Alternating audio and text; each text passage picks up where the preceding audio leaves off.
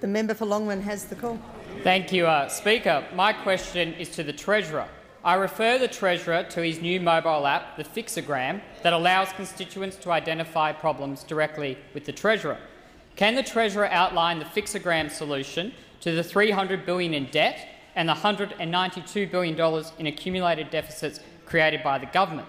The mining tax that collects 10 times less revenue than predicted, the carbon tax that is 32 times higher than New Zealand's, and a future surplus that relies on a 90 per cent drop in illegal boat arrivals.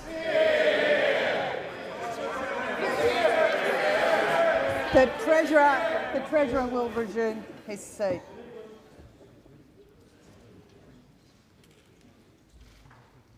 And if we are to have question time, after a question is asked, then some courtesy needs to be shown, or I will rule the questions out of order. The Treasurer has the call. Well, I do uh, thank the member for the advertisement for my app, and I invite everybody to, uh, to have a look, because the one thing that we do on this side of the House is that we deal in facts. And when, and when events occur in the global economy, we respond. And during the global financial crisis, we responded. We supported jobs and growth in our economy and we were opposed tooth and nail by those opposite. Indeed, the Leader of the Opposition slept through the vital vote in the House, the one that saved Australia from recession. So everybody on this side of the House is proud of what we did to support jobs and growth in our economy.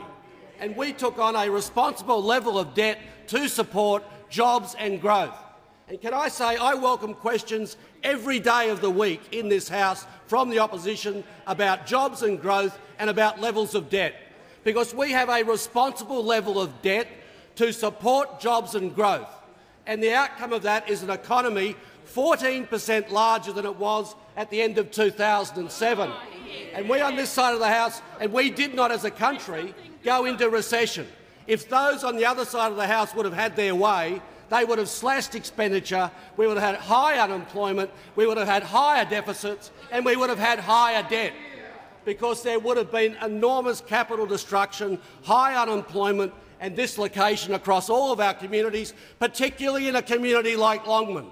It would have been savage if your party would have had your way during the global financial crisis. So we on this side of the House are proud of the fact that we put jobs and growth first. Treasurer will resume his seat. The member for North Sydney has the call. Thank you, Madam Speaker. I'd ask that you bring him back to the question that he was asked.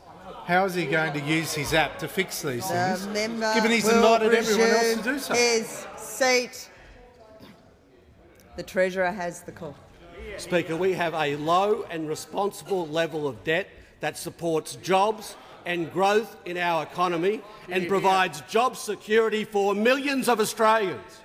And this policy stands in stark contrast to the ones that those opposite are hiding from the Australian people, because they are putting forward a proposition for a commission of cuts.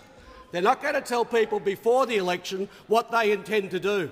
But what they intend to do, following the example of Premier Newman, if they're elected, is take the axe to expenditure in health and education which would have a massive impact on the levels of Aston. employment in our economy. We welcome a debate about debt. We welcome a debate about jobs and growth because we on this side of the House are proud of the 960,000 jobs created in Australia as a result of the actions of this government because we on this side of the House had the courage to put jobs and growth first. On that side of the House, they'll cut to the bone, they'll slash jobs and growth, they'll slash health and education, and unemployment and deficits and debt will go through the roof.